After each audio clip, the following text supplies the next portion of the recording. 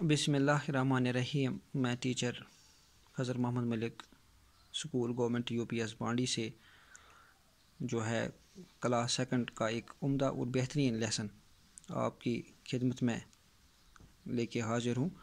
تو سبق کا نام ہے اچھے بچے اور یہ ہے پیج نمبر تھرٹی ایٹ۔ چونکہ اس لیسن کے اوپر کچھ الفاظ دیے گئے ہیں، جو جو الفاظ ان نیچے دیے گئے سطوروں میں یا نیچے دیے گئے لائنوں میں جو ہے وہ استعمال کیے گئے ہیں۔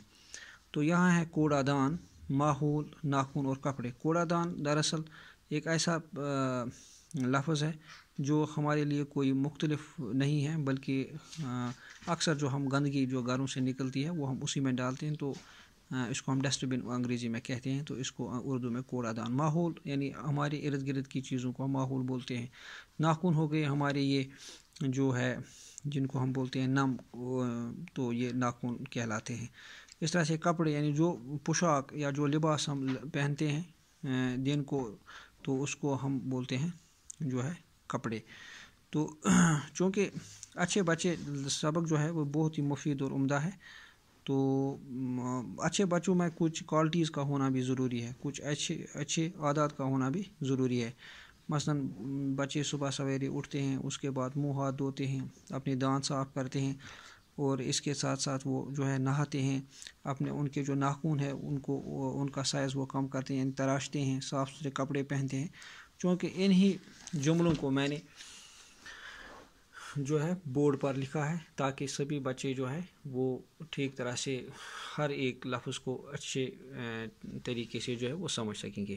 تو چونکہ میں نے لکھا ہے، ہم صبح سویرے جاگتے ہیں، دانت صاف کرتے ہیں، ہاتھ منہ دھوتے ہیں، نہاتے ہیں، اپنے ناخون تراشتے ہیں، صاف ستھرے کپڑے پہنتے ہیں۔ پیارے بچوں ہم صبح سویرے جاگتے ہیں۔ پیارے بچے جو ہے، جو اچھے عادات رکھتے رکھتے ہیں، تو وہ صبح سویرے جاگتے ہیں۔ دانت صاف کرتے ہیں یعنی وہ برش کرتے ہیں۔ اپنے دانتوں پہ جو ہے، وہ دانتوں کی صابن لگا کر برش کے ذریعے ان کو صاف کرتے تھے اس کو بولتے ہیں دانت صاف کرنا۔ ہاتھ منہ دھوتے ہیں یعنی وہ اٹھتے ہیں، منہ دھوتے ہیں، ہاتھ دھوتے ہیں، تو یہ بھی ان کی ایک اچھا اچھی کوالٹی ہے اچھا عادت ہے۔ تو نہاتے ہیں یعنی وہ صبح سویرے اٹھ کے جو ہے وہ نہاتے بھی ہے اپنے ناخون تراشتے ہیں یعنی جو ان کے یہ ناخون ہوتے ہیں، وہ وہ تراش، تراشتے ہیں ناخون ان کو بولتے ہیں جو میں ادھر دکھا رہا ہوں۔